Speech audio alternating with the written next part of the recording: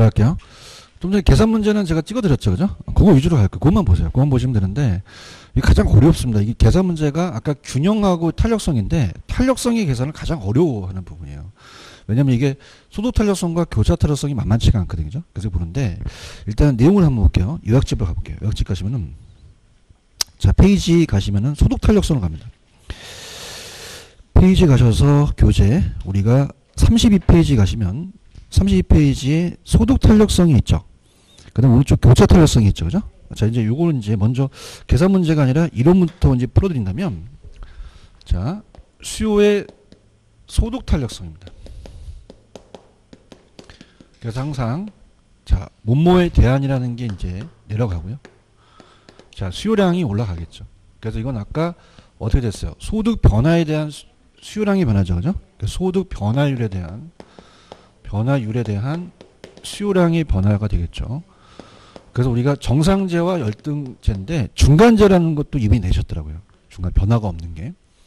그럼 소득이 높아지면 양을 내는 게 정상적인 재화죠. 그래서 우리가 탄력성이 0보다 커요. 플러스죠. 그럼 열등제다 정상제다 정상제고 소득이 높아지면 양을 줄이는 게 열등제죠. 그럼 반대 방향이죠. 플러스다 마이너스다. 마이너스 열등제고 그 다음에 중간제라는 걸 냈어요. 간장이나 소금은 상관없죠. 소득이 높아져도 아예 변화가 없어요. 자, 이건 무슨 제다? 중간제가 되는 거죠. 어, 0이 된다. 중간제가 된다. 그래서 자, 이걸 따보세요. 정렬중. 어, 자, 같이 움직이면 무슨 제? 정상제. 반대로면 열등제. 변화가 없으면 중간제가 되고요. 교차 탄력성이라는 게 있죠. 그죠? 그래서 수요의 교차 탄력성은 자, 수요의 교차 탄력성은 탄력성입니다. 자, 다른 제와요. 자, 우리가 밑에가 x제화가 있고 y제가 있죠. 그럼 x제, x제의 가격 변화율에 대한 y제의 수요량이 변화가 되겠죠. 그런가요? 그럼 같이 움직이면 무슨 제예요? 반대로 움직이면 열등제는 여기서 끝났어요. 보완제죠, 그죠? 어, 어, 지금 이 상황에서는 제가 더 이상 뭐, 더, 왜냐면 지금 소득하고 좀 다, 다릅니다. 그죠? 그래서, 물론 뭐 다들 그렇게 나오시는데, 이건 대, 이건 대체제예요. 이거는 보완제가 되는 거죠. 아시겠죠? 그죠? 그래서 같이 움직이면은 플러스면 무슨 제? 대체재가 되고, 자, 요거 반대로 움직이면은 보완재가 되는 거죠. 그런가요? 자, 그러면 이제 계산 문제 말고 이론상을 한번 풀어 볼게요. 이론상을 본다면 문제로 갑니다. 이론 문제인데, 이론 문제로 가면, 어, 일단은 페이지로 가시면은 54페이지 이론 문제를 내셨더라고요. 54페이지 가시게 되면은 그 28번 있죠. 자, 첫 번째 보시면 X, A제 소득 탄력성이 0이라고 되어 있죠. 0은 아까 무슨 제였죠? 중간제죠. 그럼 변화가 없죠. 소득이 10% 증가해도 A 부동산에 대한 수요량은 불변이 되겠죠. 그런가요? 자, A, B가 교차 탄력성이 플러스죠. 그럼 A 가격이 상승하면 그냥입니까? B의 수요가 늘어납니까? 늘어나죠. 자, 우리가 만약에 B의 A의 가격이 하락하면 B의 수요도 같이 하락하죠. 그럼 B의 가격도 같이 하락한다는 거죠. 어. 아시겠습니까? 그럼 가격 상승한다, 하락한다. 하락한다는 거죠. 어. 이해하셨죠? 그죠? 어. 그럼 정답은 2번이 정답일까요? 음, 됐고요. 그 다음에 넘겨보세요. 맨 마지막 문제 갑니다. 42번 문제는 계산 문제가 아니에요. 계산 문제가 아니어서 42번 문제는 자 갈게요. 42번에 아파트 수요의 가격 탄력성이 1.4죠. 그럼 비탄력입니까? 탄력입니까? 탄력이죠. 그러면 닐번을 한번 보세요. 아까 탄력적일 때는 대체제가 많죠. 그럼 가격을 올려야 돼요? 가격을 내려야 돼요? 내려야죠. 올리면 수입이 감소합니다. 그러면 리을의 아파트 가격 상승하면 공급자의 소유 총수입이 감소한다는 건 맞는 질문이죠. 그런가요? 그 다음에 자 지금 아파트의 수요의 오피스텔 가격에 대한 교차 탄력성이라는 게 있나요? 0.9면 대체제예요. 그러면 아파트와 오피스텔은 무슨 제 관계다? 대체제 관계입니다. 그러면 디귿에 아파트와 오피스텔은 보완제가 아니라 대체제라고 하셔야 되죠. 요거 이해 가셨습니까? 음, 그 다음에 아파트의 수요의 상가 가격 탄력성에 대한 교차 탄력성이라는 게 있죠. 그럼 아파트 상가는 마이너스가 나왔잖아요. 무슨 제죠? 보완제입니다. 그럼 아파트와 상가는 보완 관계가 되겠죠. 그러면 니은하고 디귿은 틀렸다는 거죠. 그런가요? 그럼 마지막 소득 탄력성이 아파트의 소득 탄력성이 1.2죠. 그냥입니까? 0보다 큽니까? 무슨 죄죠? 정상 재능을. 그럼 기억은 맞다는 얘기예요. 맞나요? 어, 그럼 기억하고 리을법만 정답이 되겠죠. 이해하셨죠, 그죠? 어, 요거 이해 가셨어요? 음, 계산 문제가 아니라 찾는 문제예요. 찾는 문제죠. 이렇게 보시고. 그 다음에 아까 제가 대표적으로 계산 문제를 찍었죠. 자, 57페이지 34번을 가볼게요. 34번. 34번 찾으셨습니까? 어, 그래서 요거 별표 쳤죠? 자, 그래서 자, 이렇게 합니다. 제가 계산 문제는 수요의 가격 탄력성은 이렇게 할게요. 이건 가격 변화율에 대한 수요량의 변화다. 이렇게 가지고요. 그 다음에 수요의 소득 탄력성은 이렇게 할게요. 이건 소득 변화에 대한 수요량의 변화가 되겠죠. 어, 천천히 가보겠습니다. 이건 그래도 그 다음 문제보다는 좀 수월해요. 가격 탄력성이 0.8, 소득 탄력성이 0.4죠. 그런가요? 자, 따라서 가격 탄력성이 나오면 가격과 곱하면 수요량이 나온다. 그럼 2%를 곱하면 양이 나오겠죠. 그러면 가격이 상승했으니 몇 점 몇이 줄어들었죠? 1.6%만큼 감소한 거죠. 그런가요? 그런데 자 지금 소득이 몇 퍼센트 증가했죠? 그럼 이걸 곱하면은 양이 나오겠죠. 양이 증가하죠. 4, 46이니까 1.6만큼 늘어난 거죠. 그럼 전체는 변화가 없다는 이 문제는 가장 수월한 문제입니다. 이해하셨습니까? 근데 이거 말고 제가 몇 번을 찍었죠? 35번 있죠. 어, 이제 시험 문제는 35번이 나옵니다. 이제 전체적인 양은 안 낼 거예요. 왜 난이도가 낮기 때문에. 그죠? 어, 그럼 이건 뭐냐면 자 보세요. 자 아까 얘는요. 그냥입니까? 나중에 가서는 변화가 없습니까? 결론을 낸 거죠. 그죠? 근데 얘는 결론을 낸 게 아니에요. 들어보세요. 자, 이건 빨간색으로 한번 칠해보겠습니다. 자, 소득 가격 탄력성은 0.8 맞죠? 그 다음에 가격을 찾아보세요. 가격이 10%인가요? 그몇 퍼센트가 줄어들었죠? 8%가 감소했죠. 그런가요? 자, 그런데 자, 이건 결론이 아니라 뭐라고 되어 있냐면 그럼에도 불구하고 아파트 수요량이 2%가 증가하게 된 겁니다. 그러면 결론을 물어본 거예요. 결론을. 그런가요? 어, 그럼 여러분들 지금 어 2%에서 8%를 더하면 10%죠. 그러면 소득 때문에 10%가 늘어나게 된 거죠. 맞습니까? 그럼 얘를 물어봤다는 거예요. 얘를. 이 난이도가 있다는 겁니다. 이제 시험 문제는 얘로 바뀌어요. 그죠? 어, 그럼 이게 뭡니까? 요 소득을 물어보는 겁니까? 소득 물어봤죠. 소득 탄력성이 몇, 몇점 몇이라고 되어 있어요? 0.5죠. 찾았습니까? 그러면 자 이게 10의 반은 얼마가 10의 반이겠어요? 20이 10의 반이 되는 거죠. 그러니까 20의 소득이 늘어났기 때문에 정답은 4번이 정답이라는 거죠. 이해하셨습니까? 음. 이 문제 나온다고 했죠, 그죠? 어, 그러니까 보세요. 아까 문제는 얘가 문제였어요. 결론을 물어봤죠. 근데 지금은 그냥입니까? 얘를 지금 모릅니까? 모르는데 10%가 더 늘어났잖아요. 그죠? 어, 그럼 우리 2%가 더 늘어난 건 2%가 늘어났다는 건 양이 더 10%가 늘어났기 때문에 그래요. 근데 결론은 뭐 때문에 그렇죠? 소득 때문에 그렇다는 거죠. 맞습니까?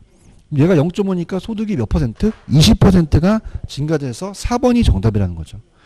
찾았습니까? 어, 시험 문제는 얘로 이제 바뀌었습니다. 그러니까 소득에 대한 걸 물어볼 수 있다는 거죠. 아시겠죠? 그죠? 어, 그 정답은 4번이 정답이라는 거 아시겠죠? 그런가요? 음, 그 다음에 전 개인적으로 38번을 찍습니다. 자, 지금까지 가격 탈락성과 교차 탈락성을 비교했던 문제는 안 나왔었거든요. 그죠? 어, 찾았습니까? 어, 그래서 저는 38번을 더 유력하다고 봐요. 왜냐하면 다음에 가격 탄력성, 교차 탄력성. 어, 이걸 두 가지 비교했던 문제는 좀 출제가 안 됐었거든요. 어, 그래서 우리가 어, 이렇게 됩니다. 자, 들어볼게요. 아파트에 대한 가격 탄력성이 0.6이라고 돼 있죠. 자, 가격을 찾아보세요. 아파트 가격이 몇 퍼센트가 상승했어요? 5%. 그럼 아파트 양이 3%가 감소했겠죠. 그런가요? 그런데 자 거기 보시면은 빌라 가격에 대한 아파트의 수요 교차 탈락성이라는 게 있나요? 자 그럼 빌라 가격에 대한이 앞에 있죠. 그럼 그럽니까 빌라가 가격이 내려갑니까? 내려가죠. 빌라가 내려가죠. 빌라 가격이 내려가고 그 다음에 아파트에 대한 수요의 교차 탄력성이 있죠. 얘가 몇 점 몇이라고 그렇죠? 교차 탄력성이 0.8이죠. 그럼 아, 빌라가 올라가고 아파트가 올라간다는 얘기예요. 자, 갈게요. 자, 여러분들 아파트가 비싸면 그냥 요 아파트 안 사시겠어요. 근데 갑자기 빌라 가격이 올라갔어요. 대체적인 게. 그럼 빌라 사겠어? 아파트 사겠어? 대답은 잘해. 그럼 아파트가 오히려 늘어났다는 거죠. 상계 처리하는 거죠. 맞습니까? 그럼 얘를 곱하면 아파트 수요량이 나올 수 있다는 거죠. 그런가요? 그러면 빌라 가격이 얼마 상승했어요? 그런가요? 어. 그러면 아파트 양이 몇 퍼센트? 8%가 증가한 거죠. 결론은 5%만큼 증가하게 된다는 것을 강력하게 전 추천합니다. 아시겠죠? 그죠? 어. 그래서 이 문제는 아주 잘 낸 문제입니다. 어. 이해하셨죠? 그죠? 어. 근데 제가 넘기시면 39번을 체크하지만 이 문제를 찍는 거는 그냥요 기출문제이기 때문에 풀어요.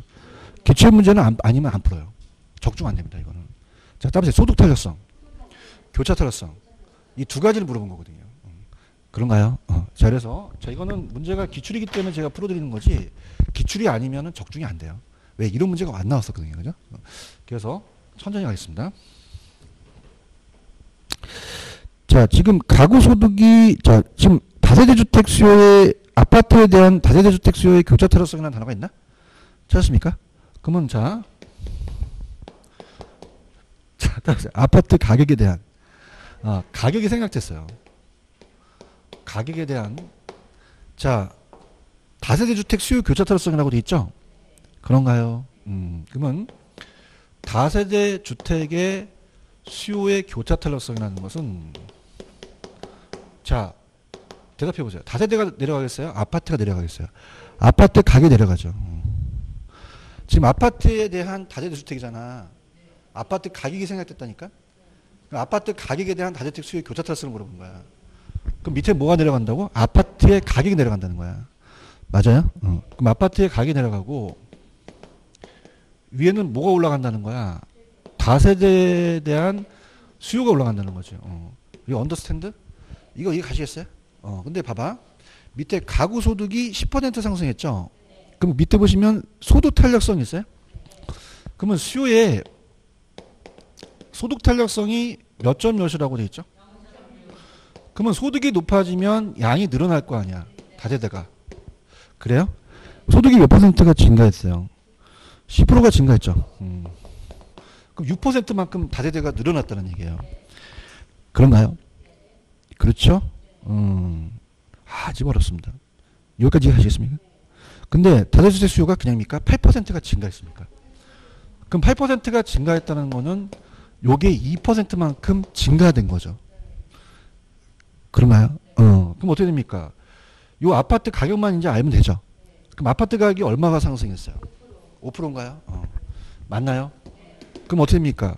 2를 5로, 2로 5 나면 0.4가 교차 탄력성이라는 거죠. 음. 아시겠죠? 그죠? 음. 저 보세요. 안 나와. 왜? 한 번 나왔기 때문에 이거는 이 자체의 문제가 또 나온다는 건 문제가 되는 거죠. 동의하십니까?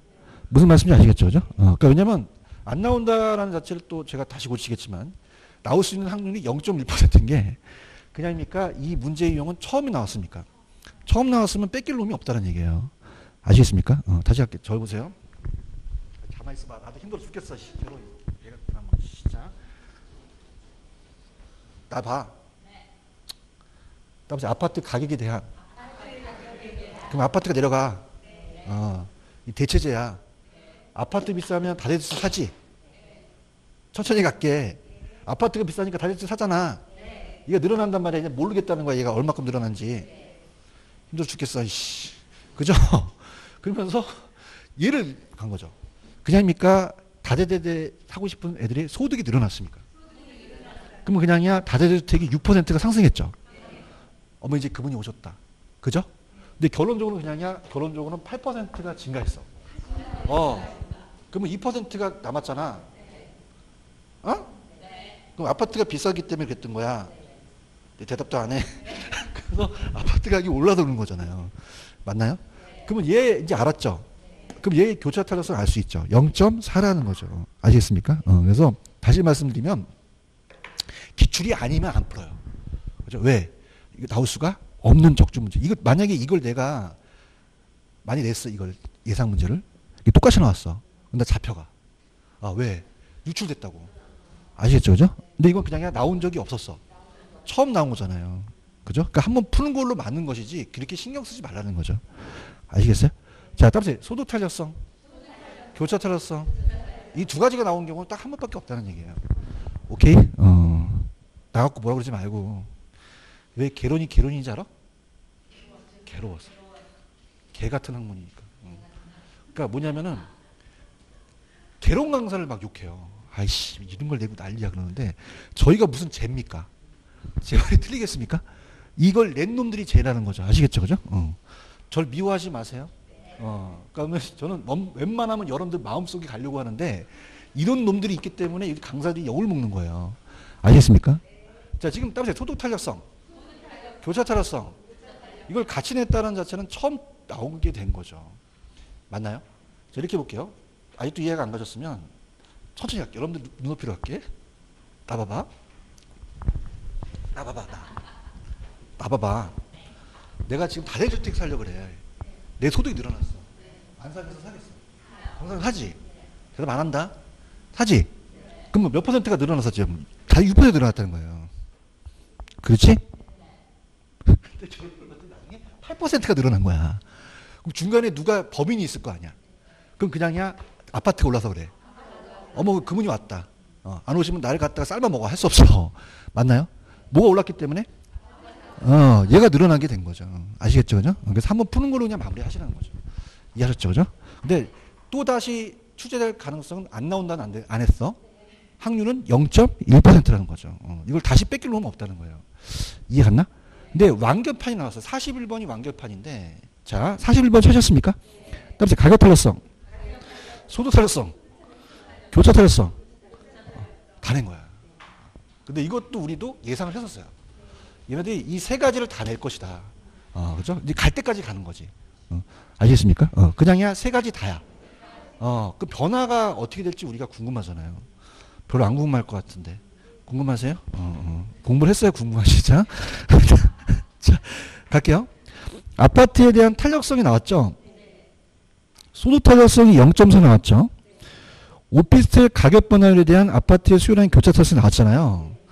그럼 아파트 가격, 소득, 오피스텔 가격이 3%씩 다 증가했대요. 그럼 전체장을 물어보는 거죠. 맞나요? 그럼 그냥입니까? 다 구해야 됩니까? 다 구해서 세팅을 하시는 거죠. 어. 준비됐어요? 어, 참나. 갑니다. 그러니까 마지막 요 문제만 풀면 완벽해요. 그죠? 어, 거의 뭐 완벽한데 우리 어렵게 합니다. 자, 그래서 자, 아파트에 대한 가격 타격성이라는 게 0.6이죠. 어, 뭐 수요 다 아파트를 얘기합니다. 가격에 대해서 수요량이 변하죠. 자, 그러면은 아파트 가격 타격성이 얼마예요? 0.6. 가격이 다몇 퍼센트 상승했습니까? 다 3%죠, 그죠? 36? 그럼 1.8%만큼 아파트 양이 줄어들겠죠. 어, 지금 굉장히 많이 따라오시고 계십니다. 맞습니까? 그냥니까 얘네들이 소득이 늘어났습니까? 정사자잖아요. 그럼 또 양이 또 늘어났겠죠, 아파트가. 어머니 이제 완벽하게 이제 알아듣는 것 같아. 음, 맞아요? 어. 그럼 수요의 소득 탄력성이면은 소득의 변화에 대한 수요량인데, 자, 지금 정상제라는 걸 알 수 있어요. 왜? 0.4니까. 맞나요? 3%만큼 늘어났죠. 그럼 양이 늘어났죠. 3, 4? 그럼 1.2%만큼 증가한 거죠. 자, 그럼 결론, 중간 점검. 그냥입니까? 감소폭이 더 큽니까? 감소폭이 아파트가 더 크다는 거죠. 그런가요? 근데 놀랍게도 그냥이야, 어, 오피스텔 가격이 올라졌어. 그럼 아파트 사잖아. 이제 알아들어야 돼, 이제. 아시겠습니까? 어, 그래서 우리가 뭐에 대한 뭐의 탄력성이에요? 오피스텔의 가격, 음, 오피스텔 가격에 대한 아파트에 대한 수요의 교차 탄력성이죠. 그럼 그냥이야 OP가 내려가. 내려가. OP의 가격이 내려가죠. 그 다음에 아파트에 대한 다 아파트잖아. 아파트 수요가 올라가겠죠. 자, 그럼 이건 대체제니까 플러스죠. 도차 탄력성이 몇 점 몇이겠습니까? 0.2죠. 3%가 아까 우피가 늘어났죠. 3이 6. 그럼 0.6이잖아요. 그럼 결론은 이거와 이걸 합치면 1.8이잖아요. 그럼 변화가 없다라는 5번이 정답입니다. 아시겠죠, 그죠? 어. 이해하셨죠, 그죠? 어. 피할 수 없어요. 하셔야 됩니다. 아시겠죠, 그죠? 어. 근데 이제 올해는 제가 봤을 때는 개론이 평, 평범하게 나온다 그랬죠. 그래서 제가 다시 펜 들으시면 더 압축시키는 거야. 올해는 58페이지에 35번 아니면 58페이지에 35번 아니면 38번 있어요? 이 둘 중에서 하나가 나온다는 얘기예요.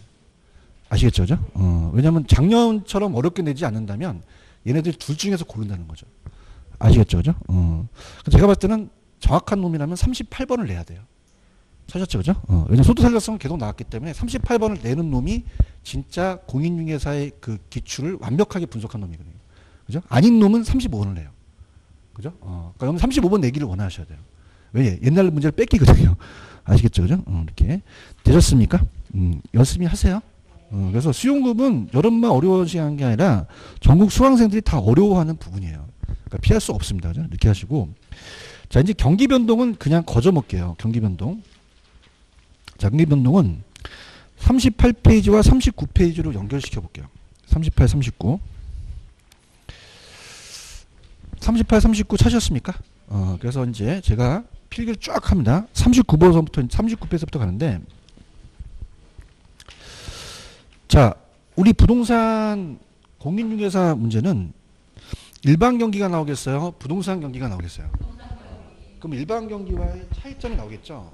그래서 우리가 합니다. 그럼 부동산 경기 변동의 특징이 나와요. 특징. 특징이 나와서 독특한 킬릭터가 있다는 거. 일반 경기랑 틀리다는 얘기예요. 자, 칠판주기 같은 경우는 우리가 일반 경기가 바로바로 바로 생산이 돼서 이렇게 가는데 자, 부동산은 그냥입니까? 착공에서 완까지 오래 걸립니까? 회복이 빨라요? 느려요? 후퇴는요? 빠르죠. 그래서 후순환 쪽으로 움직인다는 거죠.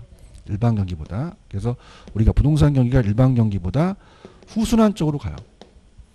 그러면 배우셨으니까 자, 부동산 경기는 일반 경기보다 주기가 짧다, 주기가 길다.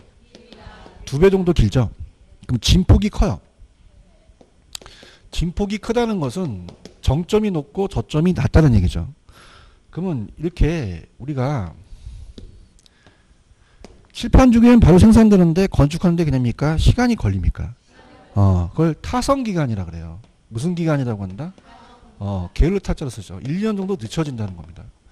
자, 그러면은 타성 기간이 길기 때문이죠. 그 다음에 부동산은 지역마다 틀리겠죠. 그래서 항상 불규칙적이고 불분명하고 불명확합니다. 나국면이 규칙적이다, 불규칙적이다. 그럼 반드시 우순환적이에요. 일반적으로 우순환적이에요. 일반적에서 선행할 수 있고 역행할 수도 있죠. 그죠? 자, 그 다음에 세 번째는 항상 회복이라는 것은 지역적, 국지적, 개별적으로 나타나서 보통 전국적, 광역적으로 확대되는 게 일반적이에요. 반드시 다 일반적이다?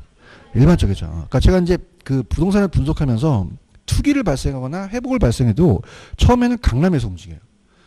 그럼 옛날에 강남이 오르게 되면 그냥입니까? 서울이 오릅니까? 그럼 수도권이 어떻게 돼요? 올라가죠. 풍선 효과라는 얘기 들어보셨어요? 그럼 이거 누르니까 그냥 경기도로 가. 그럼 전국에 투기 바람이 든다는 거죠. 그럼 전국에 이슈 생깁니까? 지역적에서 전국적입니까? 지역적에서 전국적으로 회복되는 게 일반적이라는 거죠. 아시겠죠? 그 다음에 착공에서 왕까지 오래 걸리니까 회복이 빨라요? 회복이 느려요? 느리고 후퇴가 빠르게 나타나겠죠. 그런가요? 후퇴 빠르게. 자, 그럼 우리가 등산하실 때 올라가는데 그냥입니까? 시간이 오래 걸립니까? 그럼 저점에서 정점까지 길죠. 내려갈 때는 좀 빠르겠다는 거죠. 어, 그래서 어, 종합정책 후퇴하기 쉽죠. 그래서 우경사예요. 우경사 비대칭이라는 거죠. 이렇게 보시고요. 자, 그 다음에 이제 이런 것들은 들어보세요. 자, 우리가 음, 일반 경기와 부동산 경기에 대한 차이를 물어보거든요. 그럼 금융기관이 있으면은 돈의 흐름이 달라요. 이자가. 그럼 우리가 주거용 부동산 경기가 있고요. 그 다음에 자 일반 경기가 있고 그 다음에 상공업용 경기가 있습니다. 상공업용 경기가 있으면은 자 칠판 두 개가 일반 경기가 호황이면 그냥입니까 공장 만듭니까 사무실 얻을 수 있죠. 그럼 일반 경기가 호황이면 얘도 따라갑니다. 그래서 일치해서 동시순환 쪽으로 간다는 얘기예요. 그래서 기업의 자금 수요도 늘어나고 금리도 높아지죠. 근데 보통 주택은 우리가 절이니까 잘 안 빌려주죠. 일반 경기가 불황이면 그냥요 공장 안 만들어요. 자금은 안 빌리죠. 금리가 낮아져서 돈의 흐름이 주거용으로 갈 수 있다는 거죠. 그럼 일반 경기와 상고업용은 그냥요 일치해요. 주거용과 일반 경기는요 반대 역순환 움직이죠. 그럼 우리 보통 주택 경기를 건축 경기를 주로 가죠. 그러면 이거와 이거는 일치하겠어요? 불일치하겠어요? 그럼 시간이 어떻게 된다? 오래 걸린다는 거죠. 아시겠죠? 그죠? 이렇게 계속 보시면 되고요. 자, 우리 부동산도 그냥이다 순환을 한다. 순환하죠. 음, 합니다. 그래서 우리가 이렇게 볼게요. 자, 이제 정리하실 때가 됐기 때문에 제가 이제 이렇게 갑니다. 제가 어, 상향과 회복 시장은 가격이 막 오르잖아요. 그러면 누구 중실까요? 매도자 중실까요? 매수자일까요? 매도자죠. 어, 매도자. 어. 그런가요? 자, 매도자는 팔려고 해요. 거래를 밀어요. 매수자는 땡기려고 하겠죠. 어, 매도자 위주로 가야 된다는 거죠.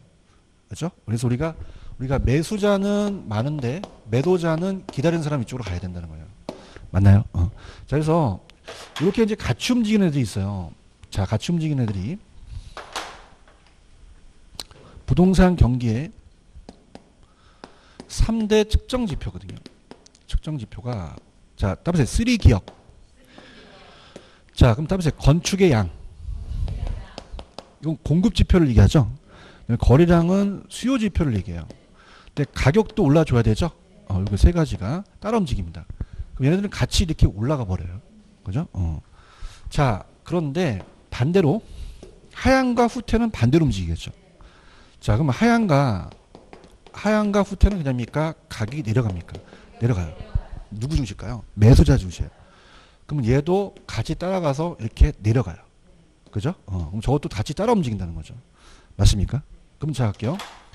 자, 매도는 떨어져요. 매도는 올라가. 회복도 올라가. 매수는 후퇴도 내려가죠. 맞습니까? 근데 반대 지표가 시험제 나와요. 반대 지표. 반대 지표는 자, 손 들어 보세요. 가격이 오르잖아요. 그러면 과거의 사례 가격은 반대죠. 그럼 과거의 사례 가격은 오히려 그냥입니까? 하한선이 됩니까? 하한선이 돼요. 자, 금리도 높을까요? 금리도 낮을까요? 낮습니다. 돈 빌리기가 쉬우니까. 맞습니까? 자, 어떻게 돼요? 내놓다면 팔리죠? 공가율이 늘어난다, 줄어든다? 줄어든다는 게 시험 문제 나옵니다. 맞나요? 자, 그 다음 얘는 어떻죠? 그냥입니까? 지금 내려갑니까? 그럼 과거의 사례 가격은 상한선이 되겠죠. 금리도 높고 공가도 높다는 거죠. 어, 얘가 시험 문제 나온다는 거예요. 아시겠죠? 그죠? 어, 그럼 여러분은 같이 움직임을 내겠어요? 반대 움직임 내겠어요? 반대 움직임 낸 거죠. 어, 아시겠습니까? 어, 그 다음에 마지막 요것만 하면 되는데 자 부동산 경기의 변동의 유형이에요. 변동의 유형은 순계충을 하는 게 자, 순환적 변동하는 게 거의 대부분입니다. 계속적 붙이죠. 그래서 이렇게 우리가 계속적 규칙적으로 움직이는 게 거의예요. 그래서 자, 따보세요. 회상 후하. 후하 이렇게 움직이거든요. 회상 후하로. 그 다음에 회복 다음에 뭐죠? 상향. 상향 다음에 후퇴가 옵니다. 후퇴 다음에 하향이 오죠. 다시 회복이 오죠. 그런가요? 이렇게. 자, 그러면 따보세요. 정점, 저점. 어, 정점과 저점이 나오면 무조건 이건 순환입니다. 자, 왜냐면은 우리 시험 문제 보세요. 자, 올해 정점을 찍고 후퇴하기 시작한대요. 그럼 계절이에요, 순환이에요? 순환이 되는 거죠. 어, 그런가요? 근데 계절도 연월이 나오지만은 계절은 1년 단위로 반복을 해요. 그럼 1년 단위로 반복을 하기 때문에 봄과 가을은 거래가 잘 되죠. 근데 여름과 겨울은 그냥입니까? 거래가 뜸합니까? 이게 뭐죠? 계절적이에요. 맞습니까? 그럼 얘랑 다른 게 얘도 12월이라는 게 나왔거든요. 근데 12월에 다른 달에 비해서 건축 허가량이 줄어들었대요. 그냥입니까? 이건 계절입니까? 정점 저점이 없잖아요. 아시겠죠? 그죠? 이렇게 잡으시고. 그래서 이거는 비순환적이고 비순환적이고 자, 그래서 이거는 다른 형태예요. 추세적은 다음에 지속적. 지속적으로 경제 성장이 장기적으로 가고 있죠. 그 장기적이라는 표현인데 이거는 잘 안 나옵니다. 무작위적이라는 게 중요하죠. 무작위적은 예견, 예견해요. 예기치 못해요. 못하죠. 자 생각해 보세요. 계절은 그냥입니까? 예측할 수는 있습니까? 지금 무슨 계절이에요? 여름. 여름 다음에 뭐가 와요? 가만히 있어야 돼요. 우리 시험 보러 가야 돼요. 예측이 가능하죠. 그죠? 근데 예측할 수가 없다는 얘기예요. 자, 그러면 얘가 어떤 거냐면 자연재해나 정부의 정책입니다. 자연재해. 자, 지진이 나는 건 예측하기가 쉬울까? 어렵죠. 어. 건축 활동하는 지진이 나길 원해요. 너무나도 뒤가 뒤지니까 조금만 나게 되면 건축 활동이 활성화돼서 주가가 올라갈 수 있죠. 건설업체. 근데 예측하기가 어렵다는 거고 정부의 정책도 예측하기가 쉬워 어려워? 어렵다는 거죠. 이해하셨습니까? 아, 요것만 하면 완벽합니다. 아시겠죠? 그죠? 어, 문제 가볼게요. 그 다음에 딱 하나만 넘기시면은 페이지 가셔서 40페이지로 가시면은 안정시장이라는 게 있을 거예요. 40페이지 찾았습니까? 자, 안정시장은 그냥입니까? 가벼운 상승을 합니까? 불황이 강하죠. 위치가 좋고 적정 규모의 주택이라는 거죠. 그럼 역세권의 소형 아파트는 불황이 잘 안 떨어지죠. 불황이 강하고 부동산 고유의 시장입니다. 그래서 과거의 사례는 새로운 거래 가격이 그냥입니까? 기준이 됩니까? 1년 전에 2억이면 지금도 2억이라는 얘기예요. 그렇죠. 그럼 얘는 순환 국면이에요? 순환 국면은 아니에요. 아니죠. 그래서 모든 국면에 거쳐서 나타나는 부동산 고유의 시장이라는 거죠. 아시겠죠? 어, 이렇게 갑니다. 문제로 갑니다. 거의 제가 한 데에서 거기 나와요. 시험제가. 그래서 요건지 위주로 가는데 자 얘는 이제 그렇게 한 문제 정도만 나오기 때문에 답만 이렇게 좀 체크하면서 갈게요. 자 페이지 갑니다. 우리가 63페이지입니다. 가시면은 자 43번 있죠. 올바른 거니까 다 볼게요. 자 1번 부동산 경기 변동도 일반 경기처럼 순환적 변동이 나타나긴 하죠. 근데 순환 국면이 뚜렷해요. 명백하지가 않아요. 자 부동산 경기는 일반적으로 제가 주거용 건축 경기라고 했죠. 어, 그 다음에 부동산 경기는 요 순환 변동 외에 변동이 없다 존재한다. 존재하고요. 자, 주거용 부동산 경기와 상고업용 경기는 일반적으로 동일합니까? 반대입니까? 반대라고 제가 말씀드렸나요? 자, 아까 3기억에 건축량이 있었죠. 공급지표고 거래량이 수요지표가 되겠죠. 조심입니다. 이렇게 보고요. 44번의 정답 3번. 부동산 경기와 일반 경기는 동일한 주기와 진폭 규칙적이에요? 불규칙적이에요? 불규칙적이고. 그렇죠? 음, 넘깁니다. 45번 옳지 않은 거 4번입니다. 손 들어보세요. 상향시장은 직전 회복시장의 거래 사례에 무슨 선이 된다? 하한가가 되겠죠. 상한이 아니죠. 음, 그 다음에 46번에 잘못된 거 5번. 여러분들 정부의 정책 변화나 이런 것들은 예기치 못하죠. 이게 1년 주기로 올까요? 1년 주기로 오면 예측할 수 있는 거죠. 어, 이게 틀린 거죠. 계절이라는 거죠. 아시겠죠? 그 다음에 47번 옳은 거. 자, 갑니다. 돈 들어보세요. 회복은 그냥이에요. 공가율은 감소해요. 건축 허가는요. 증가하죠. 첫 번째만 맞죠? 자, 후퇴는요. 잘 올라보세요. 후퇴는 내려가잖아요. 그럼 누구에서 누구로 바뀌어요? 매도에서 매수인으로 바뀌겠죠. 그런가요? 회복은 전국적으로 일시에 생깁니까? 아까 지역적으로 생깁니까? 지역적 개별적으로 회복이 나타나겠죠. 자, 회복 시장은 올라가죠. 그럼 과거의 사례가는 새로운 거래에 기준이 되거나 하한이 되겠죠. 어, 이전이 기준가가 되는 건 기준이 맞고요. 자, 첫 번째 아까 제 여기 보시면은 주기가 길죠. 그럼 진폭이요. 크죠. 부동산 경기는 일반 경기의 진폭에 비해 크게 나타난다고 하셨죠. 그러면 한 개밖에 없죠. 넘겨볼게요. 자, 48번. 틀린 거. 4번. 안정시장은 실수요자의 소형주택은 맞아요. 근데 호황 국면인 상향시장에서만 나타납니까? 아니죠. 음, 모든 국면이 다 걸쳐서 나타날 수 있는 시장이죠. 49번 틀린 거. 자, 4번. 상향은 손 들으시면 과거의 사량은 새로운 거래 하한가가 되겠죠. 음. 매도자 관리는 맞죠? 음, 맞고요. 오른쪽 갑니다. 50번, 50번에 3번. 자, 부동산 경기는 일반 경기 비해 정점과 저점의 진폭이 크다라고 하셔도 되죠. 오케이? 이해 가셨어요? 51번에 틀린 거 4번. 부동산 경기의 변동 크기와 진폭 같은 도시라면 다 똑같습니까? 다릅니까? 다르지 다 똑같이 생기긴 않겠죠. 그렇죠? 음, 이렇게 보시면 되고요. 넘깁니다. 요까지 가셨죠? 그죠? 음, 그 다음에, 자, 따보세요. 거미집 모형. 음, 넘겨볼게요. 넘기십니다. 자, 페이지는 우리 그 41페이지로 가보죠. 가시면은, 거미집 모형이라는 게 있죠. 음, 그래서 이 저자분이 이제 함수 관계를 안 내고 그냥, 어, 탄력성하고 기울기만 냈더라고요. 그죠? 그 함수 관계는 제가 풀었기 때문에, 거미집 이론이 어떤 것만 이제 보시면 돼요. 자, 아까 나왔던 지문인데요. 농산물하고 부동산은 그냥입니까? 생산하는데 시간이 오래 걸립니까? 공산품은 바로바로 생산되죠. 그 농산물에 적용된 걸 부동산에 접목시킨 게 거미집이에요. 그래서 에치켈이라는 학자가 얘기했죠. 음, 자, 그래서 어, 1900년 초반에 에치켈이 농업 경제학자입니다. 수요와 공급의 시차를 본 거죠. 그래서 이제 그걸 봐서 이제 제가 거미집을 이렇게 보겠는데요. 거미집이론입니다.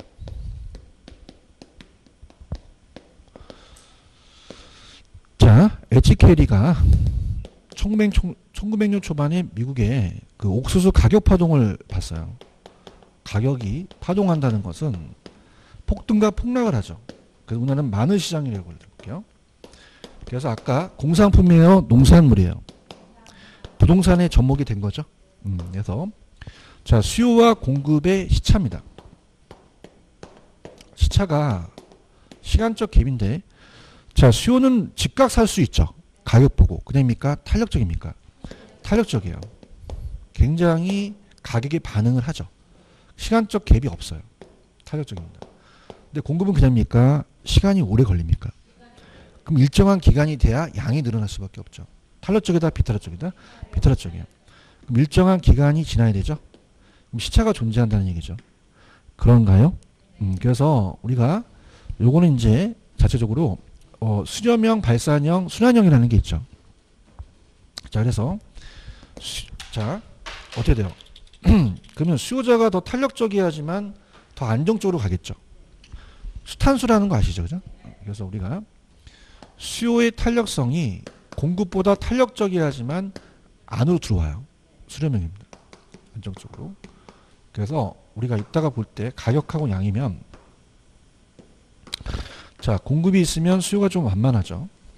자 여기서 이제 균형을 이루는 게 안정적이에요. 100원이다. 자 그런데 이제 수요가 증가하더라도 공급은 바로 생산이 안 되죠. 그죠? 그래서 우리가 갑돌이가 가격을 오르는 거 보고 그냥입니까?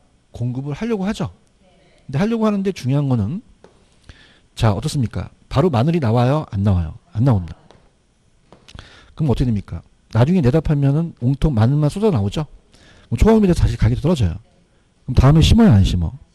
초과 수요자니 가격이 올라가죠? 이렇게 반복적으로 움직여서 거미집을 나타낸다는 거예요.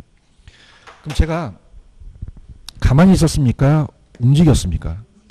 그러면 정학적이다, 동태적이다? 어, 그 무슨 말이냐? 서울에서 부산 갔다 그냥 끝나는 것이 아니라 그냥요 중간에 과정이 있어요. 과정을 설명했기 때문에 움직이는 이론이라고 얘기하는 거죠. 동태.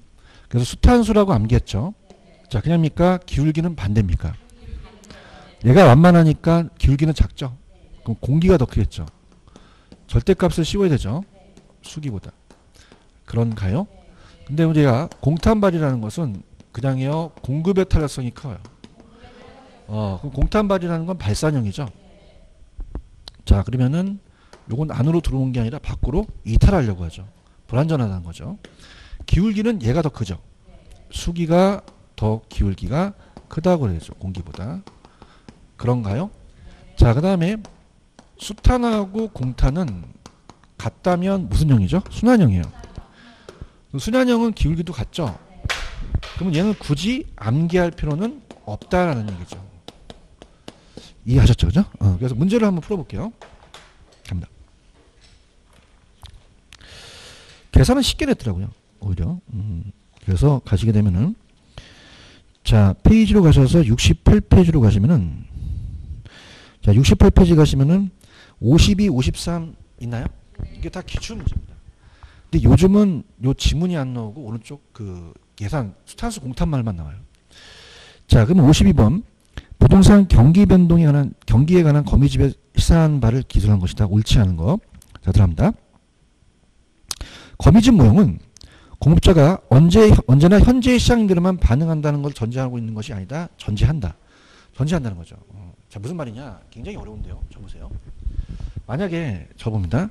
그냥입니까? 공급은 시차가 있습니까? 시차가 있어요. 그래서 지금 현재의 가격에만 의존한다는 거죠.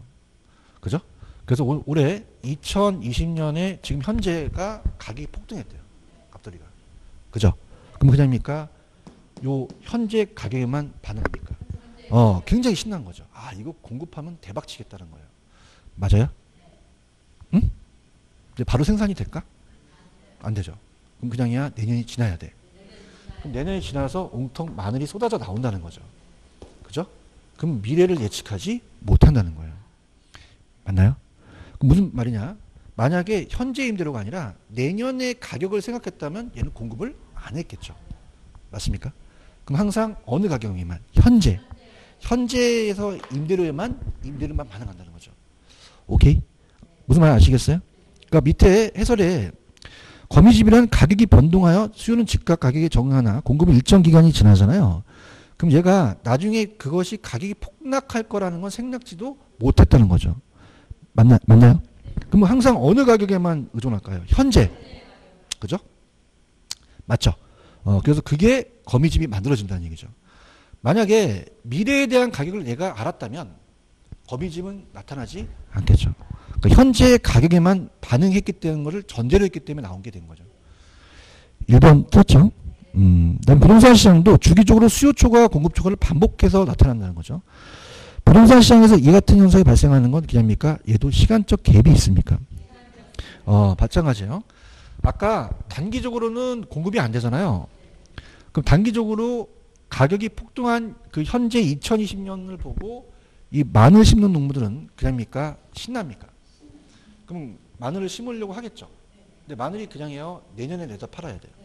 폭락하는 거죠. 어. 맞습니까? 마찬가지입니다. 그냥입니까? 건축도 시간이 걸립니까? 어, 그래서 2020년에 가격이 올라가갖고 엄청난 지금 가격이 분양가 올랐어요. 신나 죽겠네 그냥 건설. 그지? 근데 내년이나 2년 있다가 어떻게 될지 알아 몰라? 몰라. 그죠? 그래서 현재 가격에만 의존한 거죠. 맞아요? 막, 막상 나중에 장기적으로 물량을 내놨더니 그냥이야 물량이 쏟아져 나와. 어, 그래서 미분양이 속출되는 거예요. 그런데 왜 미분양이 한참 많은 경우가 많죠? 그게 시차 때문에 한 꺼번에 많이 쏟아 나온 거죠. 그럼 나도 건설회사라면 미분양이 될 것 같으면 내가 공급을 할까? 안 한다는 거죠. 맞습니까? 그러니까 공급도 우리가 예측을 하지를 못한다는 거예요. 이해하셨습니까? 자, 여러분 보세요. 이 칠판 중에는 그냥요 바로바로 생산이 돼요. 얘는 즉각 즉각 하면 되는 거예요. 맞나? 마스크도 그냥이야 그냥 생산이 돼. 어 지금 마스크 그냥이야 막 만들어도 돼. 따뜻도 만들어도 되겠다. 그지? 그 마스크는 공산품이란 말이에요. 그럼 즉각 즉각 만들어낸 상태에서 이 거미집이 생기지 않은데 농산물이나 부동산은 그냥이야 공급하는데 시간이 오래.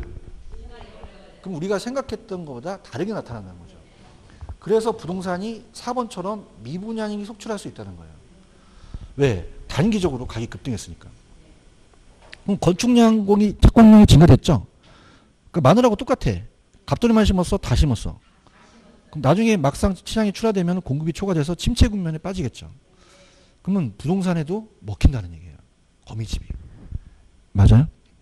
그 다음에 주거용과 상공업용 중에서는 아까 제가 비탄력적인 게 더 적용됐죠.